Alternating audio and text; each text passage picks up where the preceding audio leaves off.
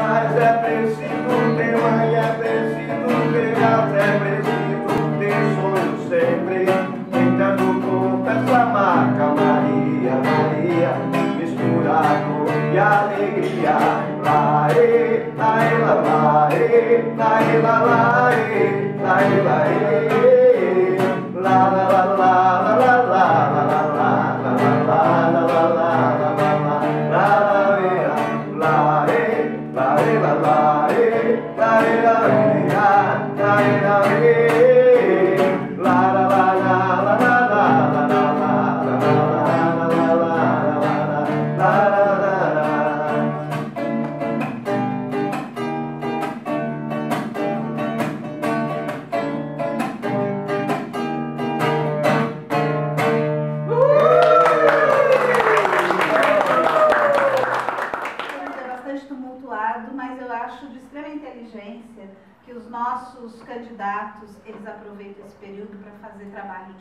De quanto tem sido importante, o quanto a gente ganha dentro do ah, dentro da nossa militância, né, e como pessoa e principalmente também como pessoa com esses dois vereadores. Né? Então nesse momento de golpe que a gente vive importante ter pessoas como Carla Aires e Lino Pérez ah, como parlamentar representando a gente lá. Então eu queria passar a palavra para vocês. Né? Ah, Carlinha, fala. Para o mandato, tenho certeza que foi muito legal também fazer essa troca, não só das pautas que a gente leva, mas também do que a gente bebe e colhe em relação à cidade, todo expertise. A atividade que a gente promoveu na quinta-feira na Câmara, quinta-feira foi o dia do orgulho LGBT, e nós fizemos uma reunião ampliada em que é, foi organizada uma marcha, meio que, e nós tínhamos conseguido o espaço do plenário para fazer essa reunião e fizemos uma ocupação colorida naquele plenário. Estava entrando aquela hora que a gente abriu a porta entrou, e daí dois gurizinhos bem jovens, talvez nem votem ainda, falaram bem espantados assim, nossa, a gente está entrando na prefeitura. E daí eu fiquei pensando num contexto de golpe, de conjuntura política, de descrédito da representação, né? O quanto aquele momento foi importante para vários ali, para várias e para vários ali. Eu acho que foi importante, assim, a gente, para além de, das pautas que a gente debateu, aquilo lá foi muito simbólico para a defesa da democracia que a gente tanto tem, tem feito, sabe? E o rodízio em si, que a gente está praticando muito, é, de forma muito bacana, também vem é, contribuir com, com a valorização da representação de novo da democracia. Mas, por exemplo, para os meus 1.080 eleitores dessa galera que fica abismada em estar entrando na prefeitura, né, ver que votar e ter o seu voto representado, mesmo que por um mês, é acreditar também no voto, né, que não se perde, que o voto não se perde, que não são sempre os mesmos. Então, quando a gente trouxe para a executiva a importância do rodízio como um projeto de cidade, um projeto de partido, um projeto de sociedade, é, eu acho que esse um mês, nesses pequenos momentos, fez pensar isso, assim, do quanto que é um gesto é, valoroso do Partido dos Trabalhadores de Florianópolis, do mandato do Lino e de todos nós, sabe? Porque é, é de fato defender a democracia e nos dar gás por Lula livre, né, por, por rever os nossos direitos. Então, queria dar esse depoimento da, do significado democrático dessa nossa experiência, né, para além do que a gente fez lá, do, do que a gente apresentou, das pautas que a gente debateu. Para o conjunto da democracia, eu acho que tem esses dois marcos muito importantes. É, não à toa, é, o secretário de organização do PT Nacional me ligou, ligou para o PT aqui, é, tem companheiros da Bahia. Isso em alguns lugares é uma prática, mas a nossa experiência deu uma repercussão no Estado e nacionalmente que até o partido não, não esperava, sabe? É, eu sou do Diretório Nacional do PT, durante, eu sempre compartilho as ações que a gente estava fazendo no grupo do WhatsApp é, do DN e por duas ou três vezes durante esse mês a própria Gleice parabenizou, mandou palminhas ali nas coisas que eu compartilho. Então, assim, a gente está sendo visto, né? Isso é, é muito importante. É, é, bacana compartilhar, de fato, desde o Comitê da Democracia, da Cidadania, para esse momento desse mês. Lançamento de pré-candidaturas. Levantei isso lá no LED, o plano estratégico do LED, o candidato, pré-candidato a Senado, levantei que nós tínhamos que construir uma plataforma de lutas é, na frente. Tem o Lula livre, é uma plataforma, depois vem os pré-candidatos. Infelizmente, o presidente, vocês, ainda cada um saiu, né, morreu as pré-candidaturas, mas espero que essa seja uma contribuição e cinco debates para construir uma plataforma. Além das específicas plataformas de cada um, a gente possa construir uma geral é, no partido, nesse momento. Não é isso? É, inclusive, a da Uniforme, é, quarta-feira, agora à noite, tem um debate do Lédio, lá em São José. Né? Nós também estamos preparando um debate com ele é, aqui também, aqui na sede do partido, ou 7 ou 14, para discutir a questão soberania nacional, uma plataforma é, nacional, não é isso? Mas acho que é importante esses debates que, como diz bem a, a Elisa, né? acho que é, esse acho que é o, fundo, é a razão pela qual a gente luta para ganhar a eleição. Mas o que interessa é o fundo disso, que é os, os conteúdos, os direitos da, da, cidade, do país, enfim, direitos humanos. Acho que isso, tem que ser a nossa constante em todo o tempo. Aliás, é uma forma, inclusive, de, tendo continuar depois das eleições, a realizar esses debates, para, inclusive, até em direção ao Instituto de Políticas Públicas, que a gente possa, já tem hoje uma iniciativa do movimento social, o nosso partido tem que dar, dar contribuição para não ficar em toda, toda época de eleição, tem que discutir programa de governo é, correndo. Né? Claro, tem o companheiro Pedro que sai faz essa coordenação, mas eu já estou percebendo que está um pouco, está um pouco ofuscado esse mesmo. Continua a, a candidatura operando e o, e o plataforma de governo outro. A diferença do Vinhate na época, que ficaram um mês, o, o, o candidato governador da outra vez, que ficou um mês, um ano e meio antes, discutindo o programa. Eu defendo um pouco esse método aqui, e aí eu queria dizer, meu caminho aqui, agradeço o que está vindo, no sentido também que isso aqui é um conteúdo que requer, enriquece a nossa plataforma, independentemente se está sendo cobrado ou não. Eu já aviso que vocês vão debater dia 8, mas é importante a gente estar junto, se retroalimentando um no outro nessas campanhas e ajudando o partido e a mudar esse país. É isso. Depois da, das eleições, esse é um tema. Nós já discutimos a cidade, a exclusão, a mulher negra. Fizemos um debate, acho que foi ano passado, retrasado. E esse é o tema que eu acho que é importante que a gente pudesse levar, inclusive como em direção, de hoje, em direção à tua vereância para 2020. Não é isso? Nós construímos. Caso eu não seja eleito agora, né? Caso não seja eleito, gente vai, vai ser eleito. Mas é nessa direção que eh, essa plataforma serve para enriquecer a tua, a tua, a tua luta aqui no Estado Certo? E também como vereador na frente, caso não saia aqui estadual, com essa plataforma igual. E propõe que a gente faça realmente um debate mais na frente, já com você como deputado, a gente pode fazer uma articulação entre o estadual, né, você e aqui nós da, da Câmara, fazer um debate no Estado sobre a questão da cidade e a, e a mulher, né? Como é que a mulher, o LGBT, que eu falo ainda, como é que ela sofre violência.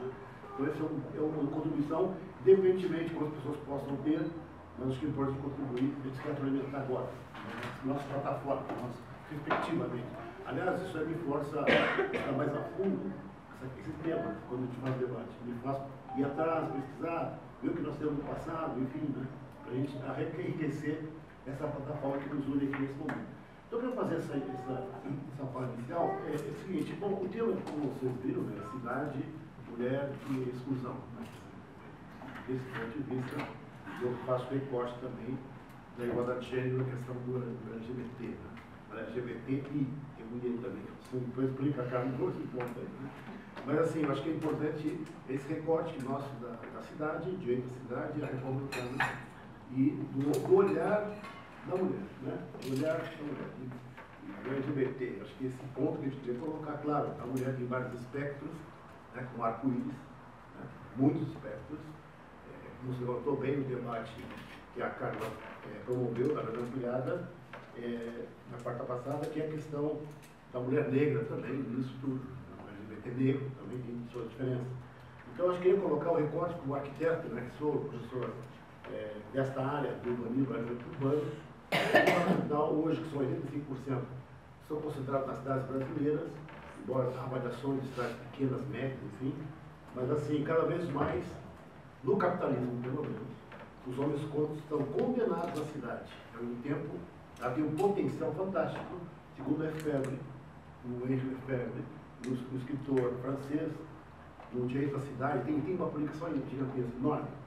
Mas assim, não só o direito da cidade, o livro dele, mas outros livros que ele coloca, do rural urbano, enfim, que a cidade tem potencial de juntar como força produtiva, que é isso que o capitalismo fez, juntou com uma grande fábrica, produzir, expandir para o mundo a produção mercantil, mas ao mesmo tempo ele tem uma caráter civilizatória, segundo Marx, né? E também junta a diversidade na cidade. Claro, os homens vêm à força, a maior parte vem para as cidades, são jogados nas cidades hoje, nosso modelo periférico gigantesco, vem para a cidade, primeiro fica fora da cidade. Os moradores vêm para a cidade, mas são legados da cidade, ficam nas periferias, principalmente as populações pobres, é, empobrecidas, né, negros, enfim. Né? Então, ele tem um potencial de juntar, mas também desagregar. Né? Ele é, junta e segrega ao mesmo tempo. Né? Nós vemos que nossos Florianópolis são uma das cidades mais segregadas do país. Né? A grande parte está do outro lado da ponte, minha casa, minha vida está um palhaço, a maior parte delas estão tudo lá. Que, aliás, é uma crítica que nós temos no mercado por isso, a periferia, o periférico. Então, acho que a cidade hoje, é, Marx, é cara civilizatório, mas também é onde está o diverso. As pequenas cidades também tem problema né, da fofoca, que todo mundo fica aquela coisa né, dentro da cidade, todo mundo está se conhecendo. E a cidade, segundo o poeta Baudelaire, o homem se perde no anonimato da grande cidade. Né? E aí ele, se, ele começa a ver outro diverso dele, quando vem dos povoados medievais. Né? Cidades todo, todo, mundo, todo mundo se conhecia dos mesmos, iguais. Quando chega na cidade é diversa. E é a palavra diversidade. A cidade diversa. Então, o Estatuto da Cidade foi uma conquista de 2001. Ele avançou grandemente nos direitos urbanos. Mas ainda está por lutar, pensando, viu, a função social da propriedade da cidade, que é o grande eixo central do Estatuto de 2001, que está no Constituinte de 88, mas o Estatuto ainda não avançou na, no Estatuto da Cidade Diversa. Para além de só democrática para os direitos, mas também de as pessoas se expressarem no diverso. E eu queria colocar aqui, importante, no sentido positivo, que eu quero apresentar o aspecto negativo da cidade, a poética da diversidade. Esse livro acho fantástico, aqui para mim. Esse livro é muito bonito, mostrando o corpo diverso da cidade. Então você tem aqui os artistas colocando a diversidade da arte. O corpo, que é excluído na cidade, e aqui tem os artistas colocando a, a diversidade do corpo. Então, é, e aí eu queria colocar aqui que o LGBT, onde eu fiquei muito, muito feliz vendo, né, na reunião criada, uhum. né, todos os drags estavam lá e tal. Assim. Quer dizer, a cidade a gente nega o corpo, que é o corpo para a produção, mas não o corpo para a individualidade. O corpo, eu estou aqui com sua máxima dimensão. Porque o capitalismo quer usar o homem simplesmente como corpo máquina, máquina de produção. E aí eu quero dizer que o LGBT, na ponta, é o que mais questiona isso. Quer dizer, a questão de o corpo ser assumido toda a sua dimensão. Então, a cidade diversa, diferente para todos, que no urbanismo aqui nós temos uma arquiteta que é Zoraia, nossa arquiteta, né? ele exclui. Não é isso? Quer dizer, então, essa, ele, a produção ele hegemoniza tudo. Bom, shopping, né? shopping, o homem vive em shoppings, né? em gaiolas, em bolhas. Uma cidade que é entre uma bolha e outra é um novo lugar. Uma média. Basta ver que, é, como vários teóricos franceses falam, parece que uma rede, rede medievalização. Quer dizer, você tem as fortificações, entre uma fortificação e outra, é cidade de terra de ninguém. Né? Quando transportava mercadorias, os caras exportavam entre uma cidade, cidade média e outra, era uma insegurança total. Por isso surgiram os bancos, para ficar, segurar, para usar como um monte de moeda entre uma cidade e outra, o banco surgiu dessa forma. Então, de novo, nós estamos entre um shopping e outro, a cidade não é de ninguém. Porque é uma cidade privada. Eu vou para o meu shopping, para a minha creche, para o meu filho, meu, meu, meu, meu. Mas a cidade entre nós, entre uma, entre uma muralha e outra, entre um bunker e outro, nada. É. Que morre. Nós temos uh, algumas reuniões nucleares sobre isso. Mas assim, e mais a mulher da rua, as mulheres que vivem a, a, a morte nas ruas. Né? E aí eu queria colocar um, uma pesquisa muito bonita do, da, que saiu da Casa Pública, que chama Agência Jornalismo Investigativo, que é a arquiteta Tainá de Paula Negra e também, professor, vocês conhecem isso, é importante, e o escritório chamado de arquitetura chamado Terceira, Ima, Terceira Margem. veio no... A Tainá, sim, que é um, que é um, falando da mulher que vive na cidade. Né? Porque a cidade sabe aquela, feita para os homens, né? Os homens, as mulheres muito ricas iam, aqui no caso, na Praça 15, e saíam, fazendo ficavam presas, no máximo, né? nos domingos na igreja, os corpos fechados. Né? As cidades, as cidades barrocas, as igrejas barrocas, as mulheres estão em cima, é o véu, a mulher está sobre um véu, chama um xarabi, aqui você vê, uma grade, uma gaiola, a mulher fica por trás, ela tem o corpo escondido. Né? Então ela é a última que sai, é dos homens. No Rio de Janeiro é igual, na rua do ouvidor, as mulheres de ricos, né? as pobres, pobres estão escondidas nas suas casas. Ela aparecia nos domingos desaparecia. Então essa cidade tem as marcas até hoje, a escravatura, né? os negros estão até hoje presos seus corpos nas periferias, a escravidão continua, mas também as mulheres também estão presas na cidade diurna, que a cidade noturna é pior, à noite. Então, para buscar emprego é um problema, para sair à noite é um problema. Então, tudo isso, a cidade que exclui o seu né? Bom, LGBT, pior ainda, é pior, violência, então, no caso, tem uma estatística, não sei, depois eu já falar um pouco sobre isso, era cada 26 horas morre um, acho que está menos, daí tem menos, 23 horas, morre um LGBT, né? para, por cada hora, uma morte violenta, aqui falamos também um caso, né, cidade mais violenta do país. Então, nesse sentido, eu queria colocar que a cidade, pela negação, primeiro, a cidade negativa, nós temos que combater até o fim a violência que exclui. E o LGBT, as mulheres, mulher negra pior ainda, certo? Pessoas com deficiência são onde mede a cidade como é profundamente excluída. Uma cidade masculina, né, violenta, Branca. entendeu? Hein? Branca. Branca, certo? Sempre. Não é por acaso que é importante na arquitetura, Le Corbusier, os grandes arquitetos, né? São, é uma arquitetura branca, apolínea né, europeia, né, com a lógica é, retilínea e racional do homem europeu. Né, por acaso, o modulor, ele está nessa dimensão, é o homem, é o homem branco de 1,82m, nessa dimensão, que mede toda a arquitetura. Os arquitetos da arquitetura medem pelo modulor, que é 1,80m. Nossa média aqui é 1,70m ou menos. Mas o modulor, o modelo eurocêntrico, branco. Então essa arquitetura nós estamos desconstruindo há muito tempo. Por exemplo, os arquitetos baianos na Bahia, eles têm um movimento hoje de fazer uma arquitetura negra né, que desconstrua isso. Mas eu mesmo dei aula de arquitetura anos de arquitetura barroca, por exemplo, religiosa, branca. Entendeu? Eu, eu, entendeu? Quase virou latino-americana, indígena negra. Mas ele veio anos dando aula sobre isso, do branco está em mim, que foi, formado, foi o único negro nos anos 70 na Escola de Arquitetura do Rio Grande do Sul. Certo? E eu tive por cota do meu pai que me instruiu lá. Escola particular normalista, religiosa. Então, olha, está em mim isso. Eu vou, eu vou girar isso aí ao longo do tempo. Eu tive essa formação.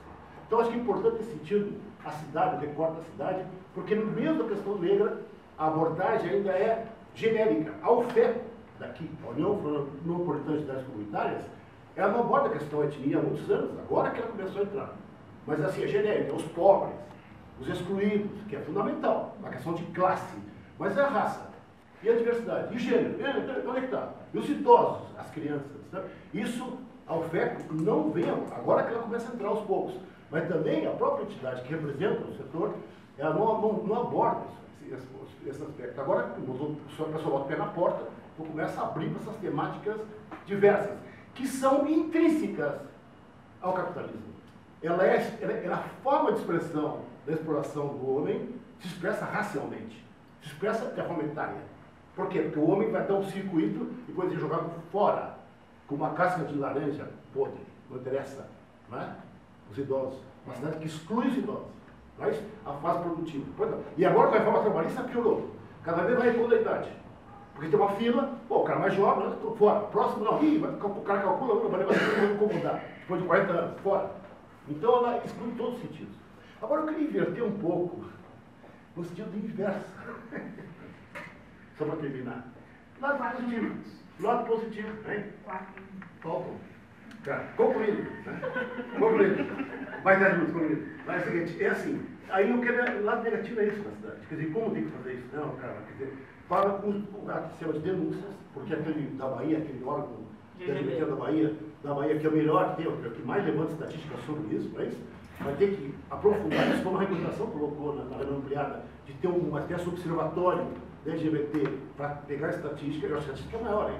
Porque os anúncios, nem, os, os, os BOs não, não denunciam, o medo, enfim, das mulheres experimentadas no LGBT. Né? Então, é, colocar a denúncia nisso, fazer um grande combate, uma rede, você foi colocado lá, de luta contra todos, contra todos os ataques aos LGBT e às mulheres, com todos. Nós estamos nessa luta aí, o caso da mulher brasileira, estamos lutando, enfim. Então, essa é a situação. Agora, no sentido inverso, que fala Lefebvre, que coloca aqui também, aqui artista que nós estamos avaliando aqui presente, que é no sentido inverso. Como o Lefebvre falava, é, a cidade negativa, mas também ela tem um potencial de uma construção de uma obra coletiva. Quando nós estamos lá agora com as ocupações, a gente conversa, vai com, os outros companheiros, aquele pessoal está na alienação do cotidiano, profundo alienante. Mas a fato de se acordar, é como diz, suspende o cotidiano, que eles percebem e vão negociar com o prefeito igual para igual, e, e falam em tom, aquilo é uma profundidade, uma, de um ensinamento que nenhum livro vai dar. Se entenderam. E a hora de fazer formação política, naquele momento. Porque tá, aquilo está vivo para ele, ele suspende. E aquilo levanta a poeira, pum, sai a poeira, né? Que assenta na inércia. Quando ele, ele salta, ele diz, pô, aquele menino, né, aqui de cima, o, o Albany, pô, aquele outro lá também, lá da Nova Esperança, lá fora, pô, acabou ele falando na frente ali, cara, ele falou maior tranquilidade, ele falou tranquilamente. É Lucas de dentro de azul, que de azul, Nova Esperança, da comissão. O cara dando uma aula, cara, explicando. Aí vem a Cíntia também, da, né, do Falando de Cristo. Nós, mulheres, temos sofrido. Pô, deu uma aula assim, cara. Isso aí é uma coisa que não tem lugar nenhum. Nós temos que aprofundar a informação fundamental e é nesse momento. Esse tem um caráter o quê? Um caráter revolucionário na sua entranha. Porque ele mexe em estruturas, ele pode ir para além do sua dor sofrimento, ele pode vir, olha para Pascal, olha para cá, fora. Ah, eu posso fazer isso, um se esconde no lugar. Entendeu? Ele vê a, a, a totalidade daquilo que está metido. Então eu quero colocar que a cidade tem intenção inversa que ela é possível com construção coletiva. Entendeu? Na utopia da aparente alienação, de quando você junta uma energia, que é no caso das ocupações, que são três ocupações se agora, eles viram um potencial que ninguém para, quatro, né? Tem a quarta né, do, do contestado, que eles se juntam naquela força fantástica e empurram, e aí forçam o governante que é baixo. E eles viram, opa, nós temos força. Então eu quero colocar que a cidade, sentido inverso, tanto a questão da diversidade dos corpos, que ela tem um potencial fantástico, movimento artístico, eu acho fantástico, o ETC, não é isso? O Batalha, vai embora, eu acho que ele tem um lado inverso, não é artista, não é, não é nosso artista aqui, de, ela, ela é um campo pra, também para poder, com milhares de pessoas, tudo juntas, o jardim, se troço, cara, para a gente formar, dar a mensagem de que é possível transformar a partir da cidade. Não sei se entendeu? Então nós temos que ter uma mensagem, cara, também inversa do LGBT, que é a coragem de se expor a sua sexualidade até o fim, ainda que o matam, ainda que o calem, tentem calar.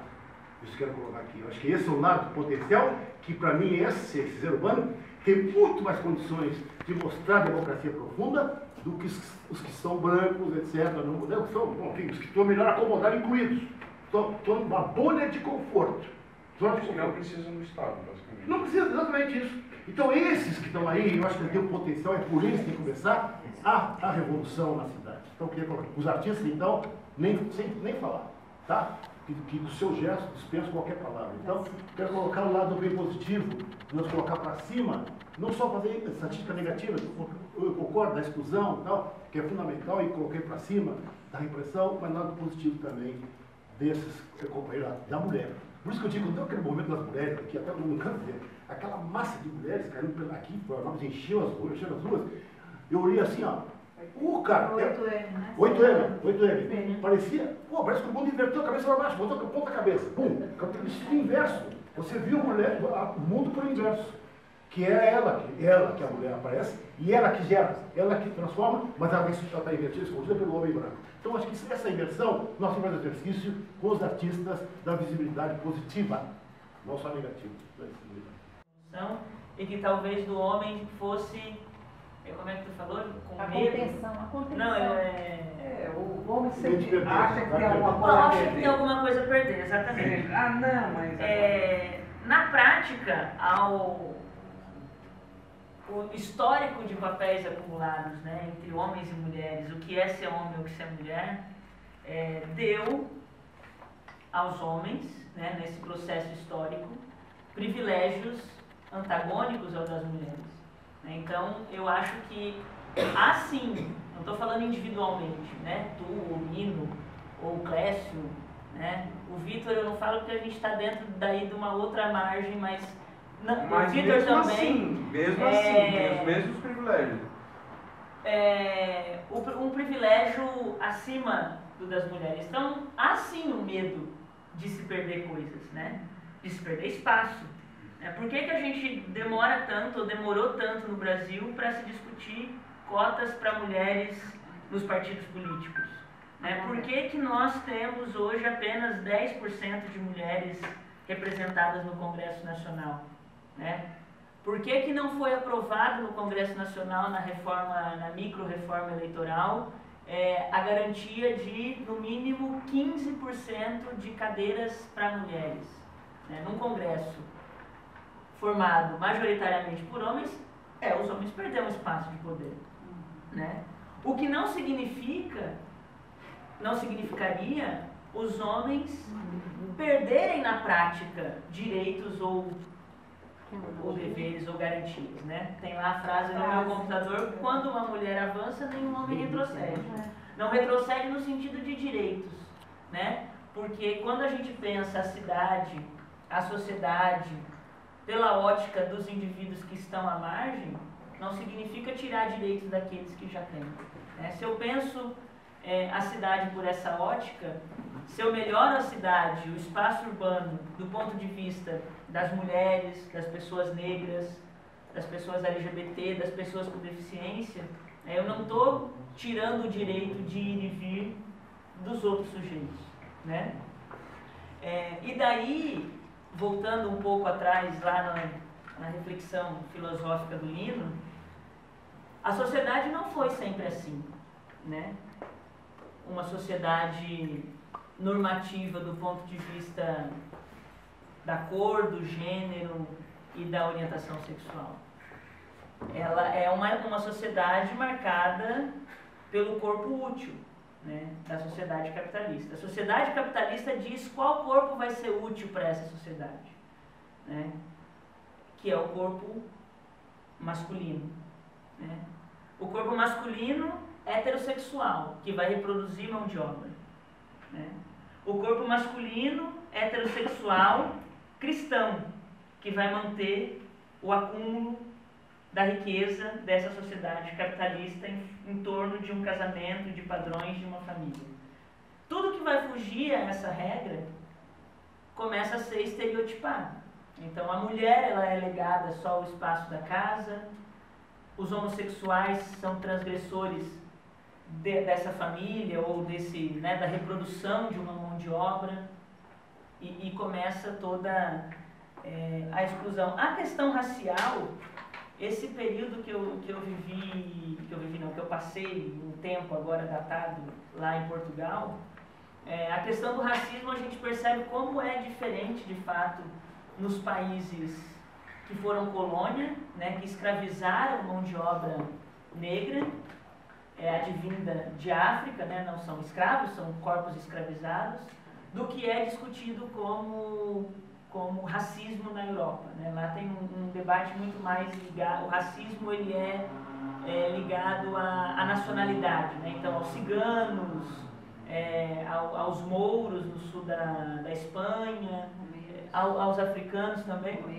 aos romenos, né? então é, o racismo lá até tem muito, muitas, tem um núcleo de mulheres negras na Universidade de Lisboa discutindo é, racismo do ponto de vista é, da América Latina, porque é um outro debate, né, que lá há muita dificuldade em se fazer também em relação é, às pessoas de origem africana, por mais que lá tenham também, né, tenha tido as colônias africanas e tudo mais.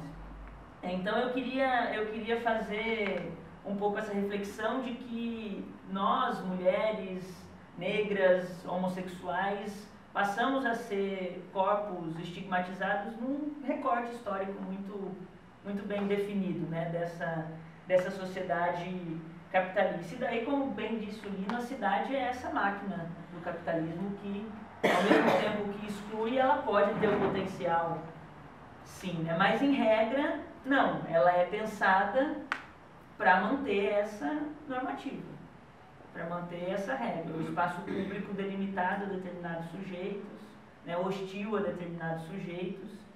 É, e quem de fato, por esses padrões, né, ah, o que é o homem ideal? O homem ideal é aquele que vai para a política, aquele que provê a família, aquele varão. Né? A mulher é aquela que cuida da casa, do filho, do idoso, da pessoa com deficiência, né, que leva e busca os filhos da escola. E se a gente for pensar quem de fato, é, como se diz, é, mobiliza ou, ou vivencia a cidade de fato na reprodução desses papéis, né, são as mulheres. Né? Por isso que a gente fala, se a gente pensar a cidade do ponto de vista das mulheres, a gente não vai ter nenhum retrocesso. Né? Até esses dias lá, a gente estava discutindo na Câmara o requerimento do Afrânio. Afrânio teve, levou um requerimento para a Câmara, que veio do debate da redução do óleo diesel, né? reduziu lá 46 por, é, centavos o óleo diesel. O Afrânio propôs um requerimento para fazer a revisão da tarifa de ônibus, já que o diesel tinha, tinha reduzido e teve todo um debate, uma leitura do contrato, que o Jean tinha que fazer isso, então. E daí o, o, o Pedrão usou a tribuna e falou, mas se vocês forem perceber, para defender o requerimento, né? Temos sim que revisar a tarifa, porque o trabalhador vem para a cidade de manhã e volta para casa, dois, duas, duas, duas passagens, são 8,40, isso na, na, na, mesa do, né, do, do salário dele. Ele estava de novo reproduzindo a vida útil da cidade do cidadão que só usa o transporte para o trabalho. Né? Agora, a mulher que acorda cedo, leva o filho na escola, né? usa uma passagem a dela do filho. Aí depois ela vai da escola do filho, vem para o centro trabalhar. Já é mais uma passagem. Se ela tem que fazer uma consulta no meio da tarde, já é mais uma passagem. Né? E aí ela busca o filho de novo e volta para casa. Já são sete passagens de ônibus. Fora as compras do supermercado. Fora as compras do supermercado, farmácia, né? A mãe dela que ela tem que visitar Que ela- alguma É. Então, assim, é, o legislador ele tem que pensar uma outra lógica que não só a lógica do capital, do sujeito que trabalha, né? É pendular, só vai e volta para o trabalho, né? É, e é a mulher que está fazendo, na maioria das vezes, não exclusivamente, mas na maioria das vezes, e sobretudo a mulher na periferia, né? No morro, que não tem ônibus, né? que tem poucos horários de ônibus. É, então acho que é, que é importante sim, Lino, e daí o ganho para uma cidade é quando os legisladores conseguem pensar, ou o executivo consegue pensar essa outra lógica. Né? Eu, eu defendo que sim, é importante que vários grupos sejam representados, acho importantíssimo e, e sou defensor de que temos que ter mais mulheres na política, mais negras e negros na política, mais homossexuais na política, mais pessoas com deficiência na política, ocupando e, se representando.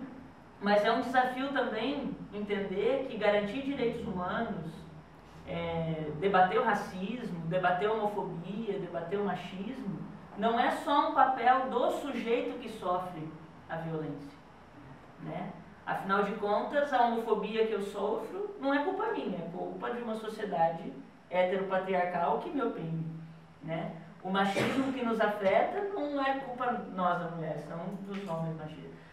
O racismo não é culpa do negro.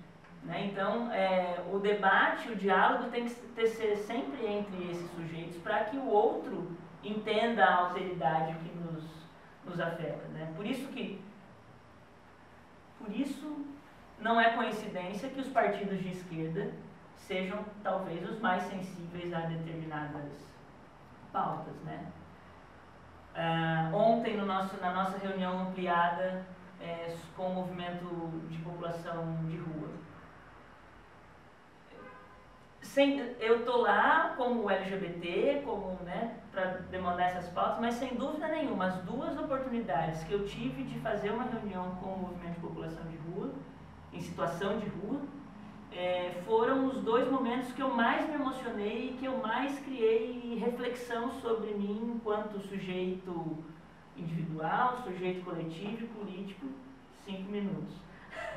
É, porque é uma realidade. Eu, eu conheço muito bem a minha realidade, mas eu não conheço aquela realidade. Agora, se sensibilizar com a realidade do outro é muito mais difícil, né?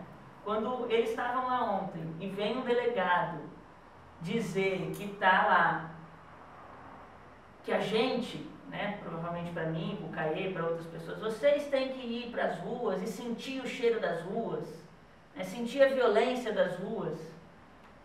É muito, é muito fácil dizer que o cheiro das ruas é esse cheiro daí, quando o cheiro das ruas, eu falei ontem, o cheiro das ruas é o cheiro do descaso do serviço público em relação a essa população. Poderiam lavar, né, ao menos. O, É o cheiro da moral o que delegado coloca e o não conseguem. Tá gravado, não? Tá gravado, foi transmitido ao vivo. Meu Deus.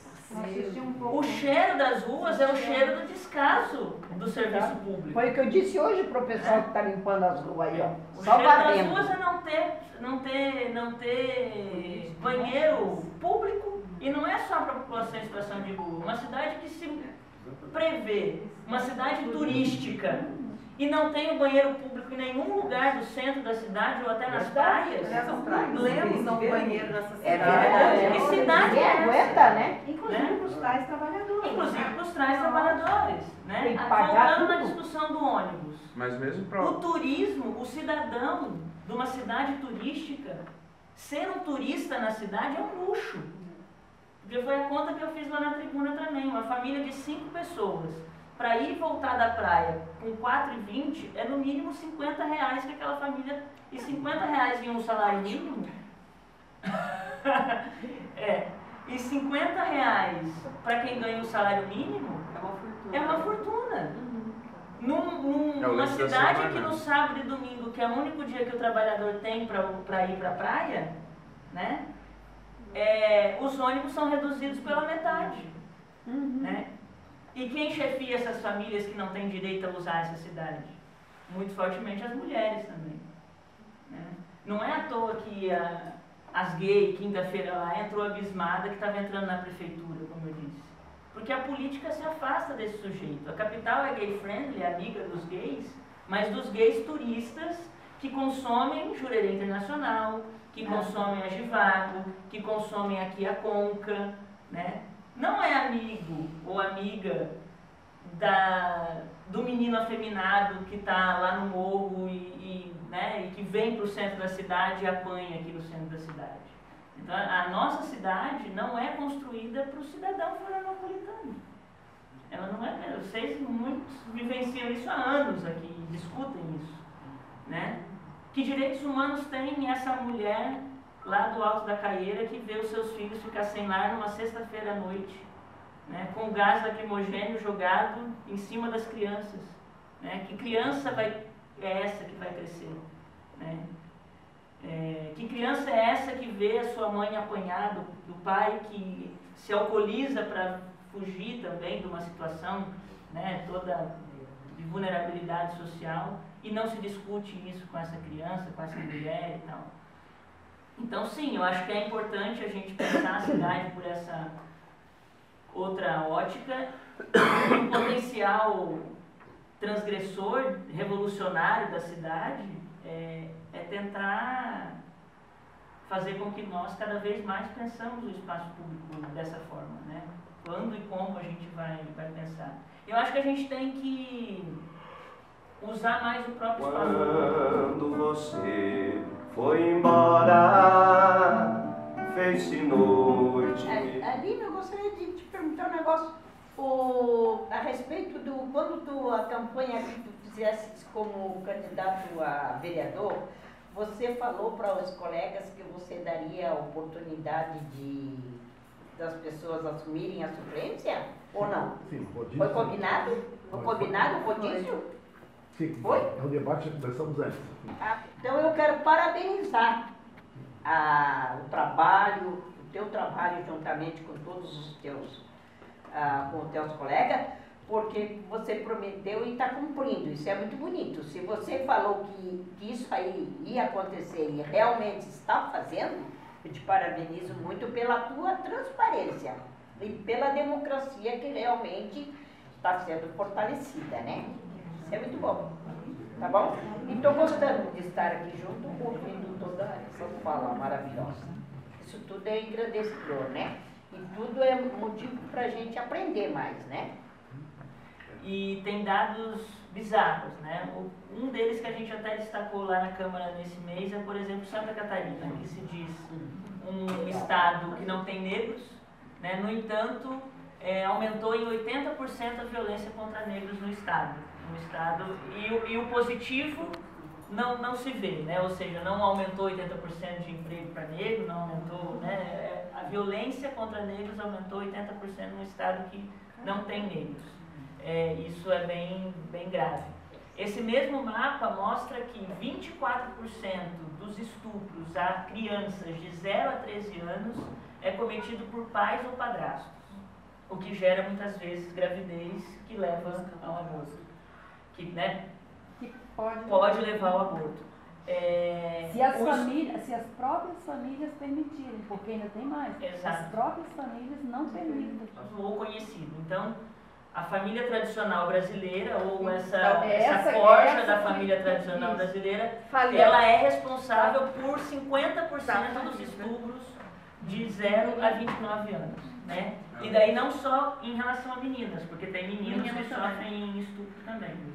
E daí, só para dar um exemplo, quando o Vitor estava falando da questão da política, da questão né, da, dessa, da nova ordem da política, para a gente ver como que o Estado, ao desenhar a política, e daí já cabe aqui para o nosso deputado federal, é, ao desenhar, por exemplo, a política de garantia ao pré-natal. Né? A política diz que é garantida a toda mulher o direito ao pré-natal gratuito no SUS. A toda mulher. O que a sociedade entende como mulher? Né? Um corpo com vagina, etc e tal. Né? Só que toda a discussão da transexualidade que a gente, que a gente debate é, põe por terra algumas coisas. Por exemplo, se sujeitos que são homem trans, homens trans, ou seja, nascem com uma vagina, com um útero, com e tal, mas têm uma identidade de gênero masculino, ou seja, são homens trans, passíveis de engravidar por opção ou muitas vezes por estupro corretivo de irmãos, de pais, etc e tal. São homens que reivindicam o direito de homens, de ser chamado como homens, mas não teria, portanto, uma vez garantido agora o seu direito de rever na certidão de nascimento, inclusive, o seu sexo e o seu nome, não teria garantido o pré-natal na política do SUS, porque são homens. E a política diz, a política não diz corpos com útero, a política diz mulheres. Então toda a política, e aí vários exemplos a gente poderia dar, ela é generificada, né? Tem gênero por trás. Deputado federal, temos muito que mudar lá. Dentro da lógica hétero, cis, branca, é, de classe média ou de elite, porque é, todo tipo de pensamento, por exemplo, da lógica do SUS, ela, ela- ele- ele nunca, tá, nunca se para para pensar tipo, ah, a gente vai garantir o pré-natal a toda a mulher. Que pré-natal é esse? Qual o pré-natal que é garantido a ela? É garantido a ela que ela vai ser violentada institucionalmente toda vez que ela vai fazer um ultrassom? É garantido a ela que, é, que o médico vai fazer perguntas indiscretas a respeito da sexualidade dela ou da vida sexual dela, do porquê que ela está grávida deixa de estar? É, é, não é pensado como é como que esse como que essa lógica de Estado vai ser colocada. Sempre essa lógica ela é imposta pela corporeidade do, do homem branco cis, né? É, e hétero, né? Então ele é caro, caro e ineficiente. Vocês são vereadores, ele é caro. E daí ele deveria ser gratuito. E teria que ser bancado por quem? Pelos impostos, talvez, mas teria que ser bancado por quem? Pelo usuário do automóvel. O usuário do automóvel, o automóvel, cada um quilômetro que a gente anda de automóvel, ele derrete um quilograma de, de gelo. Uma coisa absurda se fabricar hoje em dia automóvel movido a combustível fóssil. Isso é uma coisa assim. Quem anda de automóvel fica pensando nisso, ele está derretendo. Eu andei 20 quilômetros, eu derreti 20, 20 quilos de gelo para vir de casa até aqui. Então eu teria que ser bancado pelo automóvel para o cara do automóvel passar se não, é, a não usar. Ah, é 4, é 5 é cinco, é cinco reais um litro de gasolina, que vá para 6, 7. Mas tem a opção de transporte gratuito. Eficiente. De qualidade. né? De qualidade, é, talvez metrô teria que ser metrô, porque parece assim que não dá para viver sem automóvel. Parece que não dá, né? Ela está falando, parece que não dá para viver. Não tem como viver sem automóvel, precisa disso. E agora, é, eu e a Marlene, a gente tem feito umas viagens aí, é, o momento da vida nos permite, e a primeira coisa, a gente vai para a Europa, não vamos andar de carro, nem de táxi. Andamos só de trem e metrô. Totalmente possível. Tu vai em todos os lugares da cidade, de uma cidade para outra, tu vai de trem. né? É. Então, por que, que nesse país, né, o transporte ainda de, de, de ônibus, nas cidades não tem metrô, e quando tem são, são, são, poucos, poucas linhas, tem uma crítica grande na Europa em relação à cidade. A cidade, aqueles centros históricos, estão virando shopping center aberto. Ou seja, eles estão tirando aquela população dos moradores, que fica caro, que vem muito comércio, muito restaurante, bares, essa coisa toda, muito turismo, ah, ah, né? e estão tirando os moradores. Isso tem que ter cuidado. Isso pode acontecer por aqui também. Limpa, em- entre aspas, limpa as áreas centrais para as pessoas. As áreas centrais hoje estão abandonadas, ninguém frequenta mais, tem medo. Limpa, tira esses moradores, faz comércio, lojas bonitas, coisas bonitas, e tira as pessoas eh, dessas áreas. E coloca quem? Empresário. Os empresários. E algumas dessas ruas eram ruas de lojas de grife, que era pro rico frequentar. Então era uma coisa assim, tu via que tinha seguranças na rua, nas ruas, e que conforme, se tu tivesse um perfil que se desconfiasse, essas pessoas poderiam ser revistas o que, que tinha dentro da mochila, né? Então esse cuidado a gente tem que ter, porque é uma tendência realmente. Né? Esses centros, ahn, esses espaços serem tiradas das pessoas mais simples e, e elas serem colocadas cada vez para espaços mais distantes. E tipo assim ocupa as partes nobres né para o rico. Daí esse espaço já está totalmente preenchido com lojas e shoppings enfim praças. Aí o pobre que foi tocado para esse bairro ao lado ele vai ter que sair de novo porque agora eles vão ter que se ocupar esse outro espaço. Tipo assim, Florianópolis, daí talvez não tenha mais espaço, daí vai para Palhoça. Aí vai chegar um momento em que Palhoça vai ficar uma área nobre e o pobre vai ter que também sair de Palhoça. E assim vai, e ele vai ter que estar sempre indo mais para direita. Também é uma coisa muito importante, porque quando tu vê os espaços públicos, eles estão sendo retirados dos pobres. Né? E a única coisa que tem de espaço público vai começar a ser, assim, é para o rico, né? Porque tem lugares que o pobre não vai poder mais entrar. Então, esses espaços públicos a gente tem que ter, a esquerda tem que estar muito de olho nisso, porque vão começar a tirar esses espaços nossos, né? Daí a gente começou, paramos para assistir o teatro de rua. E tinha, gente, o enfoque para o nosso lado. Tinha um enfoque que por trás a gente percebia na fala que defendia a democracia, defendia o Lula. Então, assim, ó, não precisa ser uma coisa tão declarada quando se for ocupar os espaços nessas comunidades, né? Então, assim, é é uma coisa que a gente tem que repensar e temos que ocupar. Enquanto, enquanto não, não nos tirarem tudo, né? Acho que a gente tem que rever isso aí. E é urgente. E isso é uma área que tu entende bem, né? Então, vamos dar uns minutos de fala para vocês dois, para o fechamento. E já de antemão a gente agradece né, a presença de todas e todos, ou melhor, de todas, e que vocês homens se sintam. Todas as pessoas. Todas as pessoas. Todas as pessoas. A pauta colocada aqui, que eu notei, grande parte, é essa da mobilidade urbana. Bom, esse assunto está dentro da cidade, mas a gente está com eixo para também para debater esse assunto, que é a nossa pauta, a pauta nossa, nossa pauta tá? a nível nacional. Direitos humanos, mobilidade urbana, saneamento, habitação, estratégia quilombola, São Negra, vai indo, né? Todas elas, meio ambiente, são nacionais, né? Então tem um ponto aí, a cultura, não dá para é um ponto central para nós, estruturante, né? Então, eu faço parte do GEMUR, da comunidade urbana da Universidade Federal, tenho proposta para a região metropolitana, então não dá tempo de discutir aqui, mas só para levantar que, que vocês estão levantando, de fato, é um clama. Nós temos que ir em direção à tarifa zero. Para isso. Ah, tarifa zero. Tarifa zero. Nós temos direção a isso. O governo passa de levantar isso, né? algumas cidades colocaram essa questão.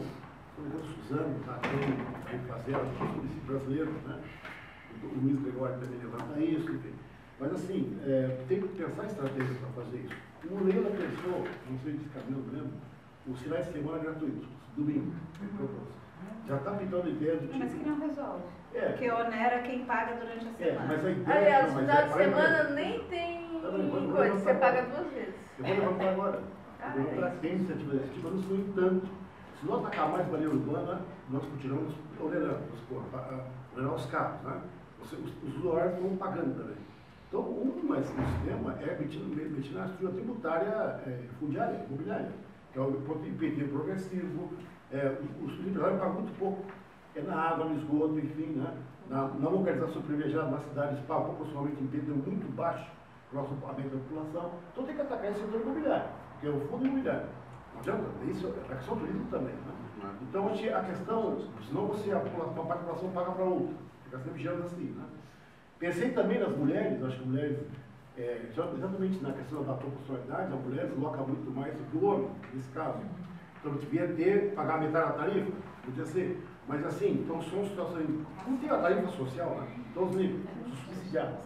Mas nós temos que enfrentar o problema, e aqui é, é muito violento, aqui da mobilidade, toma conta da cidade, ele, ele toma conta das prefeituras todas, né? Não, não interessa isso. Ele não quer, quer saber, entendeu? Porque qualquer coisa que fala imposto, ah, aumenta, aumenta imposto. Aumenta imposto. Sempre, sempre nessa linha. Então a questão é a mais-valia. Eu tenho que atacar, esse é o grande problema que nós temos. Como fazer isso, não sei, só que é uma luta urbana que está acontecendo. As ocupações é um grito. Então, deu, o cara vai saber, eu vou ocupar e pronto, entendeu? Então tem mais uma discussão que não é aqui, mas é, aqui direção à empresa de transporte, é para valer, os caras não podem valer, o produtor se esconde atrás da, da Fênix, né?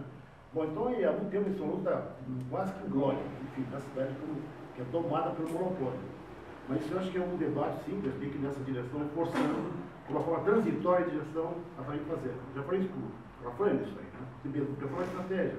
Nazareno, faz parte da Associação Nacional de Transportes, também um grande pesquisador nessa área. Né? Mas acho que todas as lutas tem que ter colocado nessa direção. Aos demais pontos, assim, que queria colocar, do debate da rua, é, o, o, o ETC já fez uma coisa belíssima, que foi o entroncamento da Trajano com a Elton Schmidt, e que fizeram, fizeram um círculo e debateu, o pessoal passando e estão debatendo. Né? Nós tivemos a ideia dos percursos também, que nós avançamos, nós andamos pela cidade debatendo. O partido faz também não, o mandato dele na rua. Está perto de Eu acho que é legal, também. talvez colocar né? também o Lula ali nas quintas, um painel colocando a estatística que levou ao governo Lula Dilma, como é que avançou estatisticamente falando. Então acho que é uma bela ideia essa de nós aproveitar nós ir o, o debate na rua. Acho que é fantástica a ideia. Devemos aplicar ainda um quanto antes. Seria, seria ótimo. Sim, Mas é isso. Eu acho que a gente não chamou atenção para uma coisa que para mim é muito importante, que nós somos dois pré-candidatos na região metropolitana de Florianópolis. Né? É, nós somos candidaturas de Florianópolis, da capital que é uma característica que o PT de Santa Catarina há muito tempo não, não tem exitosamente candidatos eleitos vindos da região metropolitana. É, e, e o, o debate que se reflete na região metropolitana é o espelho, muitas vezes, dos conflitos do Estado todo. Né? A gente está lidando de forma concentrada com vários conflitos que estão dados no Estado inteiro. Por mais diverso que seja o Estado, é, a âmbito econômico, regional, cultural, de relevo, de tudo, eu acho que aqui. E uma coisa é Florianópolis, né? Uma coisa é aqui na ilha. Passou a ponte, nós temos realidades completamente diferentes. Né? Se a gente vai para Santo Amaro de Imperatriz, se a gente da ponte para lá, para o sul, é uma realidade, da ponte para o norte é outra realidade. Né? A gente não pode dizer que Santa Amaro, Palhoça, etc., é a mesma realidade de Biguaçu, Itapema, Tijucas. É outra coisa, está tudo aqui no nosso entorno. E acho que isso que o Lino colocou, não lembro quem falou da, da questão do transporte, mas foi mediou aqui. É, desde que eu estou aqui, não faz assim tanto tempo, mas o debate do transporte na região metropolitana é sempre um calo no sapato dos, do, do, dos debates políticos. Né? A questão de só termos uma entrada na ilha, a questão de não aproveitarmos as nossas potencialidades é, de de outros modais, não só de, de bicicletas e tal, mas aquáticos também, né? e talvez a falta de lideranças da esquerda daqui entraram também nesse debate, porque as lideranças da direita estão vinculadas justamente com os empresários, tanto do, do, setor imobiliário quanto do setor de transporte desse, desses consórcios aí. Então, fosse, eh, talvez seja interessante a gente incluir nos nossos debates rearticular de forma responsável esse debate dos modais na, na, região metropolitana. Né? E daí vem tudo que a gente conversou desde o início, da questão da mulher, da questão do estudante, da questão, por exemplo, a demanda que eu estava falando que o João de Paula trouxe para a gente ali, um requerimento, é um ofício para o prefeito. Existe aquela carteirinha ou aquela legislação é, nacional de que pessoas com deficiência têm gratuidade no transporte intermunicipal. Existem muitas pessoas com deficiência e pessoas cegas que, de palhoça que utilizam a SIC ali no Monte Verde. Ele usa o ônibus de Palhoça até Florianópolis com gratuidade pela carteirinha intermunicipal. Mas como ele não é de Florianópolis, ele não tem a carteirinha de gratuidade do consórcio Fênix e tem que pagar até chegar lá. Então, é uma. Ele vem e não volta. Ou ele chega até o Ticem e, e tem que bancar a chegada até o Monte Verde. Não integra essa política. Até o Saco Grande. É. Não integra a política. Isso é uma questão estadual, metropolitana, federal, enfim. É, é, não, não é relação, mas é assim, é de como integrar isso. Ou seja, o contrato do consórcio Fênix não, não, não prevê isso. Então a carteirinha social não, não conta isso. É, então acho que, é, que são coisas para. Isso é mínimo. Não, rapidamente, assim, com relação a, de fato, que os, tem que ter os micro ônibus, né, para contração nas quatro rodas, subir nos morros, né, é, ter essas, essas lotações. Foi a, o Fênix, a Vânia que falou. É porque o Fênix ele engessou, né? Porque quando a licitação foi discutida, a licitação tinha 40 pessoas para falar, não, não tiveram encaminhamento já que licitação, que é o Ministério Público para cima, já para ser aqui igual aqui lá, eu sou agora pouco lá pelo Ministério Público. Quer dizer, aqui não encaminhou, porque a licitação era para ser debatido com a sociedade, onde aparecia todos esses detalhes. Mas a FEI se concola, ela não quer saber, ela simplifica as linhas, tchau. Mas assim, tem que exatamente, finais de semana, fazer todos os morros, por exemplo, todos os morros negros, elas querem, por exemplo, o planeta Atlântico, por exemplo. Não dá. Dá. Só o filho do papai branco dá para levar. Eu já tive enteados já. Eu levar montão dos shows, entendeu? Para ter uma ideia. Mas tem que ter madrugadores grandes, vários, né? Para poder para ter o direito da cidade abertamente, para todas as direções. Então esse tipo não, não tem. Então essas, esse debate está explodindo aí, que é a questão, nem por acaso todo mundo falou, a maior parte da mobilidade urbana. É o que eu, é o serviço pago à vista antecipada, né, de todos, para ter acesso à cidade. Então, acho que, de fato, essa é uma pauta urgentíssima, não é por acaso que o MPL colocou isso, né? Então, mas penetrar a população, tem que discutir nos morros, tem que ir lá, enfim, discutir com eles lá. Então, esse, essa pauta é central para nós, hoje, dentro da cidade. Para ter acesso ao quê? A saúde, a educação, lazer, espaços públicos, tudo. Né? Como Curitiba tem. Curitiba tem um circuito, acho muito bonito, o circuito de é, acesso às bibliotecas. Então, você vai, como é que chama aqui? Como é que chama? Um jardineiro, tem um nome lá que ela anda por todos os espaços públicos girando em tempo de circular, sistema circulatório. Nós estamos discutindo também transporte não mais fóssil, fosse em painel solar, nós estamos pensando no Gemur, com a, com a Eletrosul, na vacina da Colibri, tem micro-ônibus movido em painel solar, estou falando do Sérgio Paulo Passo, vai ter que ver daqui a pouco, sobre é, tirar a saída da matriz e os, os trabalhadores da Eletrosul, da grande bacia, deixam os carros em casa. Então isso é um ponto importante também de mudar a matriz e, e aos poucos, desestimulando o uso do carro. Claro. Mas não estamos discutindo aqui, mas é um debate que nós temos que fazer sim, o sistema modal, metropolitano de pré-metrô, no grande eixo da BR-101, enfim, tem uma discussão mais ampla, não, não cabe aqui, mas faz um outro debate só sobre mobilidade urbana intermodal, né? transporte marítimo, que nos acusam, nós, de ser outros contra, porque não sai marido. Mas bota marido em qualquer ponto, qualquer lugar que é complicado. Micro, nas microesferas e nas macroesferas. Na microesfera, quando eu, homem branco, oprimo a mulher negra, oprimo o homem negro, oprimo a mulher, ou como ou na, na, na, na lógica macro, quando os Estados Unidos invadem o Iraque para pegar petróleo e né, por aí vai. Então, eu acredito, eu honestamente acredito que a gente precisa, é uma necessidade de sobrevivência da espécie, que a lógica, é, ela, ela, que a lógica de, de funcionamento da nossa sociedade, de pensamento do Estado, de pensamento de como a gente vive, ela, ela, ela tem que deixar de ser masculina. Os, os homens precisam, sabe? A gente é, é, tá no poder há 10 mil anos e a gente só fez merda. Deu. Entendeu? Chega, já só fez merda. Até parar, agora, os homens só fizeram merda. Entendeu? Parar pra vocês descerem. Tipo assim, sabe? É, e aí, assim, eu acho que é. Que é, que é e, e, tem uma questão que assim, ó, eu até coloquei na, na minha fala lá na reunião ampliada que, que eu participei, que assim, ó, quando a gente pensa em Estado, a gente pensa em política institucional estatal, né, através da disputa de eleições e coisa do tipo, a gente não tem que estar preocupado com o direito de quem já tem direito. O Estado não existe para garantir a, a, sobrevivência, a vida, a qualidade de vida de alguém que está em direito internacional. Ele tem capital suficiente para construir uma fortaleza em volta dele. O Estado, ele existe, ele né, supostamente existe, para garantir a sobrevivência justamente daquela pessoa que faz o cheiro da cidade ficar insuportável. Né? É, só uma questão que eu tenho que colocar no final, assim, ó, para mim o rodízio tem que ser regimental no Partido dos Trabalhadores. Eu acredito que é. todos os mandatos do Partido dos é Trabalhadores têm que impor regimento é. do Partido Nacional em todos os mandatos do Partido dos Trabalhadores que sejam é, proporcionais ou um rodízio tem que ser estabelecido como regra pétrea. A gente vai fazer a semana da, valorização da raça negra, que é o dia da consciência negra, que é o dia 20 de novembro. Então já fiz um contato legal com ele, já convidei ele até para ele ir na festa.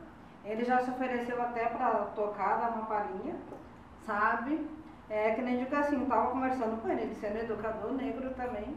Eu, eu, eu faço parte também da MAC. Então, o nosso trabalho é fazer um trabalho de valorização das mulheres negras. É que nem sábado, na nossa reunião das mulheres do PT. Eu contei, eu disse, meu Deus, mas cadê as mulheres negras do, do nosso partido? Né? Cadê as mulheres negras do nosso partido? E na hora para representar na mesa, cadê as mulheres negras ali?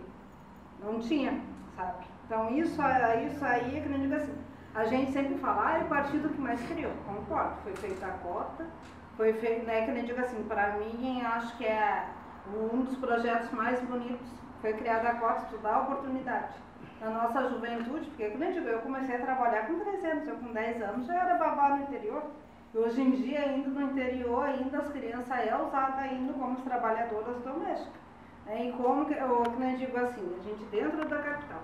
Eu que subo o morro, meu Deus, nesses dias eu fui no banco, olhei a mulher quase da minha idade, com 43 anos, não sabia nem ler e escrever. Aí a gente só diz, ah, a gente tem que unificar, a gente tem que fazer isso. Mas a gente não vai. Eu digo pra ti, eu moro, sempre estou no morro, eu venho aqui no Monte Serra. Hoje eu estava aqui no Monte Serra. Mas no morro, na minha comunidade, já faz o quê? Uns cinco meses que eu não subo. É, por isso que eu digo, a gente olha pela gente, né? A gente diz assim, a gente se preocupa lá na base, lá na frente, os nossos que estão os nossos redor. Eu acho que a primeira organização que a gente tem que fazer é o que está próximo da gente. Então agora eu voltei, já conversei com o diretor da escola, né? E até depois assim, eu acho que vocês também podem estar ajudando a Vânia, que é uma artista, a Narga, a Soraya, para a gente estar tá construindo essa semana da cultura afro para fazer um trabalho forte. E para a gente, daí sim, já fazer um elo aquele trabalho formiguinha com essa juventude para depois a gente estar tá trazendo eles para o nosso lado. Se a gente olhar a nossa juventude também dentro do, do nosso partido, está elitizado. Infelizmente, nosso partido está muito elitizado. Eu não vejo mais assim os mesmos de sempre das comunidades, é os mesmos de sempre que estão ali. Eu não vejo uma liderança nova de comunidade nas nossas reuniões. Sabe, eu acho que eu nem digo assim, me preocupo. Se a maioria dessa parte social foi o Partido dos Trabalhadores que criou, eu adoro assim o trabalho do nosso vereador, que ele está em tudo. Sempre encontro com ele, ele sempre correndo.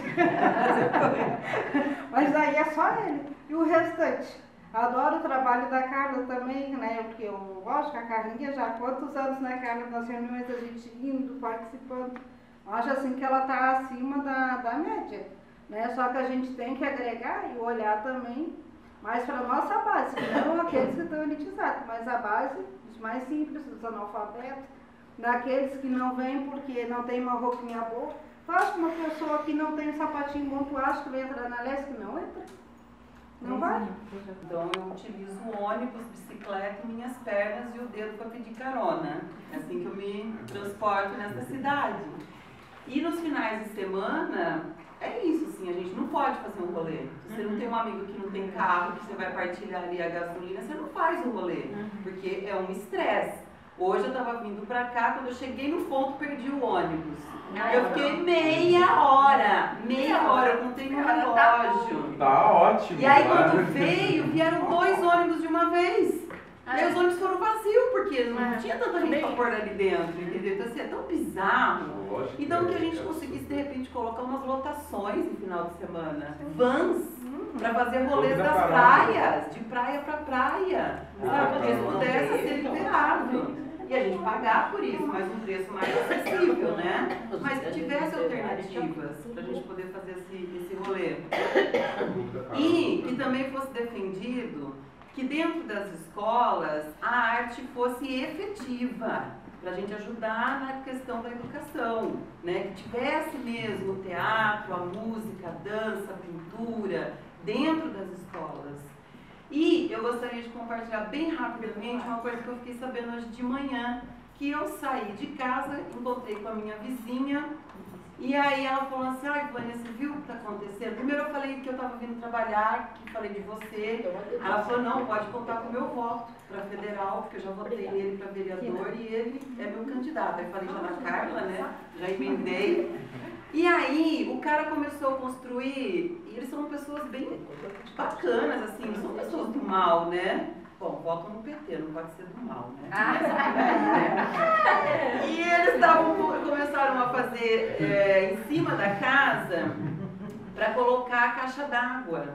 Um, um anexozinho, né? Para poder colocar a caixa d'água. Como aquela rua é uma desgraça, que tem um homem lá chamado Rogério, que é candidato a governo do estado pelo, pela rede. Qual é porta-voz? Acho que é. Ai, E aí já ligaram na prefeitura e denunciaram o cara que estava aumentando a casa dele, que não sei o quê. O fiscal chegou lá, falando já grosso, estúpido, que ele ia ter que demolir aquilo, que ele ia ter que demolir. E eles, não, a gente vai ver nossos direitos, porque a gente não está fazendo nada demais, é para colocar a caixa d'água. Aí ele arrancou do bolso assim, a notinha fiscal que ele tinha comprado alguma coisa lá e atrás anotou o número do telefone dele e falou assim, ó, qualquer coisa até no final do dia me liga. Ou seja, se vocês quiserem pagar, eu posso. Indiretamente ele estava falando isso. né? não, Não necessariamente. Não, Não necessariamente. Não, não sei. Não, não é Não, não, Rogério. Rogério. Fiscal, É o fiscal, fiscal. da Fiscal. prefeitura. Ao fiscal. Aí ela foi, procurou o advogado, o advogado orientou e falou, não, você não está fazendo nada de errado. né? Então, para ver o nível que a coisa tá, assim, né? Mas na verdade eu gostaria de defender mesmo as lotações de final de semana, né? Pra gente poder fazer rolê na praia. Minha vozinha na canal. Está fazendo nos 30 segundos. Tá, não, eu, eu só vou falar para defender a ideia que a Carlinha deu, né, da gente fazer, que a Vera também defende, de fazer esse debate na rua. A gente nessa intervenção que faz quinta-feira lá na rua, né, é, com o Lula Livre, essa semana que o Lino sempre vai, que é muito divertido, eu acho, tem pessoas que reclamam, tá, mas eu acho que no final está sendo assim divertido, e, e, e cria, toda quinta-feira a gente cria uma intervenção visual. se a gente, e, e assim, nós somos regidos por um momento da semiótica, né? A sociedade da imagem e tal. Então, qualquer coisinha que apareça, as pessoas, já, você pode não estar falando, mas se você tem uma imagem, já faz uma grande diferença. Se a gente fizer um debate lá sobre a população em situação de rua e colocar uma plaquinha, ó, debate, de repente tem pessoas que vão lá, vão colar, vão querer debater, vai ampliar, vai ampliar, né? Uhum. Então, acho que isso é uma ideia muito boa e nesse, nessa quinta-feira, inclusive, teve um pessoal de rua que estava lá e você viu, você, tá, você foi antes, né? Tinha uns rapazes de rua que pegaram, se colaram, todas de coisa. E no final eles falaram, mas quando que vocês vão voltar? A gente se vê amanhã. Eles queriam que a gente viesse todo dia. A gente falou, não, não, não dá pra vir todo dia, né? Companhia. Então, é, eles ficaram felizes da gente estar lá e, de certa forma, conseguir dialogar, sabe? Foi muito legal, assim. Conhecer então, os humanos. É, sabe? Foram pessoas que conversam, né? Que entendem as outras como seres iguais, né? Não faz essa distinção aí de cheiro e tal. Então, só para defender essa ideia aí que eu acho que. Bota fé. Bota fé. Bota fé. Aqui a gente, no Brasil em geral, a gente luta para baixar, né? Para baixar o, como a proposta dela, para ter um transporte mais, mais econômico e tudo. Enquanto isso, algumas cidades já estão implantando o transporte gratuito. Então eu acho que a gente tem que pensar no transporte gratuito como direito e dever do Estado, porque é um direito do, do, do trabalhador se locomover, ele está se locomovendo para trabalhar, para fazer compra, para consumir, para consumir a, a, atividade de lazer, então ele já está pagando esse transporte com, seu, com seus impostos. Então, para mim, é transporte é, gratuito não, na verdade não é gratuito, é passe livre, né? É passe livre, né? Então eu defendo passe livre. Outra questão que eu coloco, que em geral é um assunto muito delicado para discutir, mas eu estou lembrando da, do depoimento de uma médica que faz aborto no Hospital Público de São Paulo. Ela diz que as meninas, crianças que fazem aborto, são na maioria é, meninas de menos de 12 anos, por aí 11, 12, 13 anos, isso em São Paulo. E essas crianças são vítimas de violência familiar. O, o, a violência contra, não pode chamar nem de mulher, a violência contra, contra as meninas é feita dentro de casa. Então esse é um assunto, o aborto, né, legal, é um assunto também que, tem que é delicado, mas tem que ser colocado em pauta. Outro assunto que também, assim, sobre essas reuniões, eu penso que um espaço também que a gente poderia utilizar são as a, a sede das associações de, de bairro, de associação de bairro, que em geral hoje está fechada. E são pessoas que, em geral, vão na, na, nas reuniões para tratar de assunto festivo, não de, de, formação política. Então seria um bom espaço para essas reuniões nas comunidades, no, nas, nas sedes das comunidades. É isso. Quando você foi embora, fez-se noite meu viver. Forte sou, mas não tem jeito. Hoje eu tenho que chorar.